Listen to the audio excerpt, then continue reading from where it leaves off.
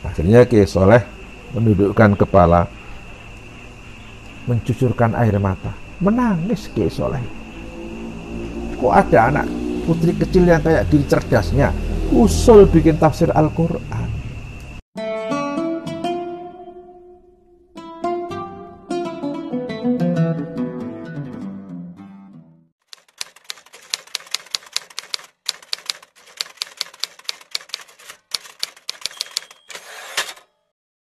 Bahkan ada anak anak putri dalam usia 13 tahun mengaji Al-Quran.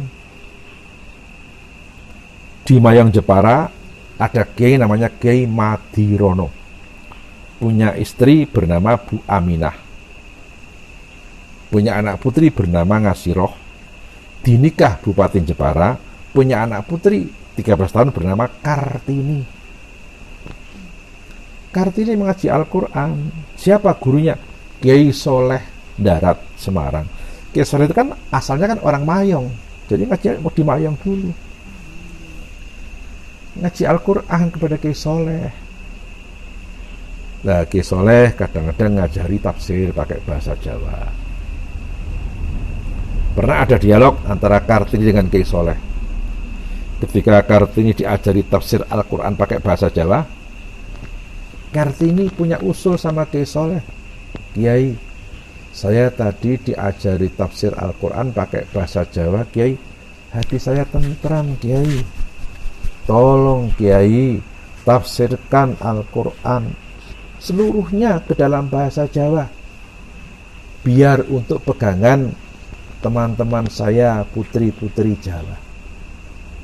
Waktu itu Kartini Kartini tidak mengatakan putri Indonesia. Kenapa? Pada zaman Kartini nama Indonesia belum lahir. Kartini punya usul supaya Kiai Soleh bikin tafsir Al-Quran berbahasa Jawa. Terus Kiai Soleh bilang, Kartini, nafsiri Al-Quran itu nggak gampang. Nggak setiap orang diperbolehkan menafsiri Al-Quran orang diperbolehkan menafsiri Al-Quran dengan syarat harus punya ilmu bantu tafsir yang lengkap. Dari gramatika Arab, nahwu sorok, ilmu bade, ma'ani, bayan, muhasnatil kalam, nasih mansuh, asbabul wurud, asbabun nuzul, dan lain sebagainya baru diperbolehkan menafsiri Al-Quran. Nggak gampang menafsiri Quran Ki Soleh bilang begitu. Terus Kartini bilang Kiai saya punya usul sama Kiai untuk menafsiri Al-Quran pakai bahasa Jawa. Kiai saya punya keyakinan semua ilmu sudah Kiai miliki kata Kartini. Akhirnya Kiai Soleh menundukkan kepala mencucurkan air mata, menangis Kiai Soleh. Kok ada anak putri kecil yang kayak gini cerdasnya, usul bikin tafsir Al-Quran. Pada saat yang lain, Kartini dipanggil Kiai Soleh.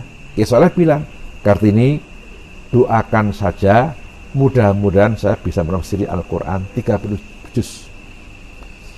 Dimulai, dimulailah penafsiran Al-Quran ke dalam bahasa Jawa baru selesai 13 juz. Dicetak pertama di Singapura dengan judul Faidur Rahman fi tafsiri ayatil Quran karya Ki Soleh usul Raden Ajeng Kartini. Litbang Kementerian Agama menyatakan tafsir Faidur Rahman karya Ki Soleh usul Kartini adalah tafsir pertama-tama di Asia Tenggara.